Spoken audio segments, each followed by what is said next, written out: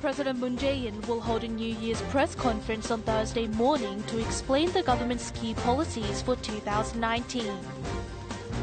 Tension is rising between South Korea and Japan over the Japanese patrol aircraft's recent low-altitude flight. And the city of Busan is hosting the polar bear swimming contest these days at Haeundae Beach.